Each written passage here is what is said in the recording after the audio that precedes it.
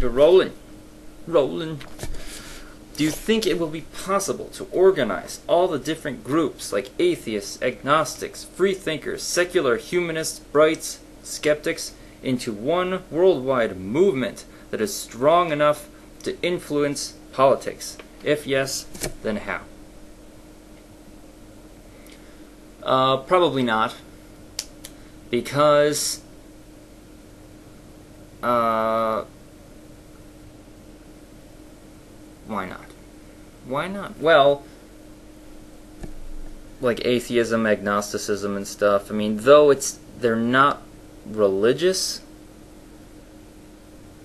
there's nothing else that any of those groups of people should agree on politically or you know in, in case of civil rights or anything uh, political structure that it's kind of a, a grouping by exclusion um,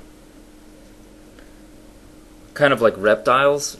They're vertebrates that aren't birds or mammals type of thing. It's a it's not a rigid categorization. It's like categorization by exclusion.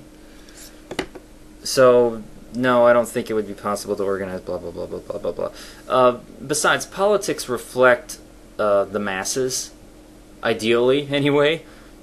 So, it I think it's efficient to to, to, allow the culture to adopt a less religious stance, and then the politics will follow the culture. At least, um, at least in Western style governments. Um, so no, I don't think it's possible. Uh, Atheist Aaron asks me three questions. Fine, just because my name is Aaron as well. Uh, please fill in the blank. If I could, I would make everyone in the world fart. It would be funny. If you had a way to kill anyone you wanted, and it could never be traced to you, would you use this power? If so, who would you kill and why? I, as much as people, some people irritate me, and as much as I disagree with people, I don't feel the need to kill anyone. I'm not falling to the dark side, Aaron, damn it. Not gonna do it. No, I, I don't think I would kill anybody. I can't. If I had the power, I probably would only use it in uh, in an immediate self-defense form. Like if I was being held at gunpoint uh, by a mugger or something, somebody trying to rob me, or or somebody you know busting my house and trying to kill somebody that that I loved, then I would kill them. But it's in a protective role. I wouldn't just you know do it to you know, change the world. It, no, uh, it would have to be in a self-defense type of uh, mode.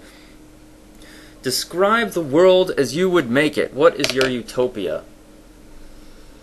Huh. My utopia? That's hard. That's really, really hard. I don't think I have a utopian vision. The closest thing I have to a utopian vision is the same vision that Gene Roddenberry has of uh, people coming together and you know agreeing on stuff, doing stuff for the betterment of humanity. So I guess it would have to be a, a Star Trek type. Uh, Star Trek type world would be would be a utopia for me, and and it's not perfect. I mean, I think the idea of utopia is is fundamentally flawed because people, by their nature, need to solve problems. It's what we do. If we don't solve problems, we get bored we end up making problems that we have to solve. So uh, there needs to be a certain amount of chaos in the universe in order for it to work properly. I mean that's very broad, but you know, as far as poetically, I, I mean it. Um, we're not we're not creatures of order. We are creatures of chaos.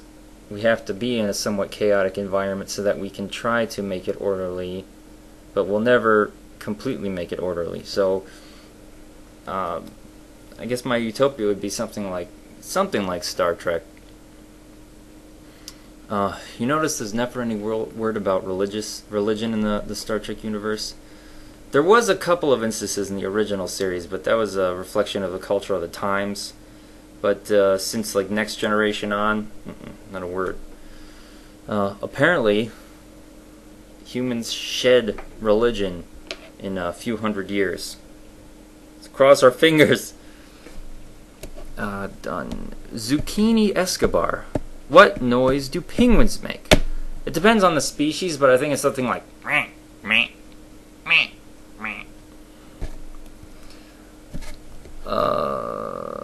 King Kafir. Have Amazing Atheist and Fake Sagan gone insane, or were they always insane? Also, what's your favorite atheism video on YouTube?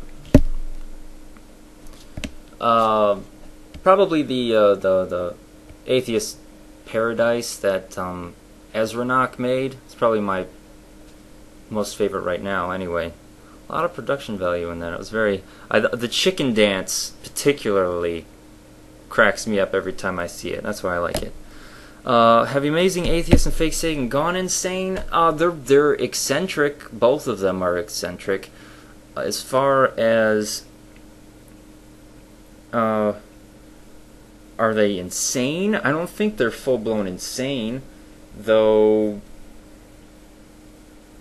Uh, they're belligerent, antagonistic. Uh, I think the Amazing Atheist is a bit of a narcissist and uh, fake Sagan, nah, he just likes pushing people's button because he finds it amusing. Um, but they're not insane, and each of them have the have their place. Uh, Maxicali, three favorite atheists on YouTube, and why is the Amazing Atheist so awesome? Well, I'll just disagree, and I don't think the Amazing Atheist is a is that awesome.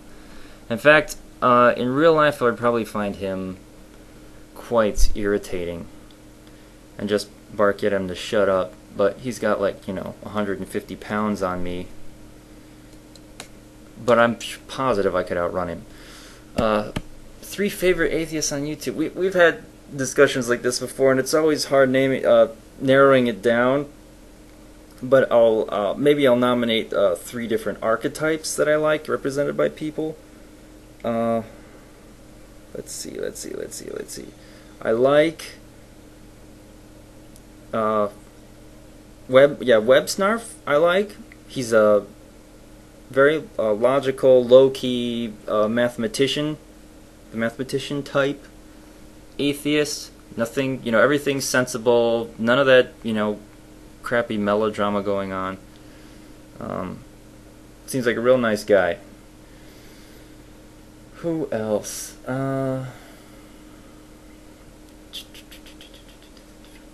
probably have to edit the hell out of this. Uh, Paul Dolman, he's another one. Not afraid to to open up uncomfortable subjects for discussion, and he always comes across as being polite and respectful. I think a lot of times I can come across as being dismissive when I don't mean to be, and that that's um, that angers uh, people I'm having a discussion with. And I, I, wish I could be a little bit more, um, a little bit more respectful when uh, when communicating, especially in text. I, I speak bluntly, but you can tell by my tone of voice and facial expressions that I, you know, I don't mean offense by it. But when I when I type out things, sometimes it can seem short, blunt, and like I'm being rude when in fact no, no, no offense is is meant. So, um, so I wish I was a little bit more. I would just come across naturally as being more respectful, kind of like uh, Paul Dolman. And a third, crap, crap, crap, crap, crap, crap, crap. Uh, Golden Colbo. I don't think he's made a lot of videos recently. I think he might be taking a little bit of a, a breather. But he just comes across as one of those real chill guys. Like, nothing bothers him. He's just so smooth and chill. And uh, I can. I've got that Hun temper. Uh, it's a joke in my family that my mom's a direct descendant of Attila. She's got that temper, and I've I've got it too. I've got a really long fuse, but ooh, oh, I can get to the point where I could kill somebody with my bare hands. I don't like being like that. So I just I wish I was a little bit more chill, like Golden Cobalt. Ten minutes again. Fuck.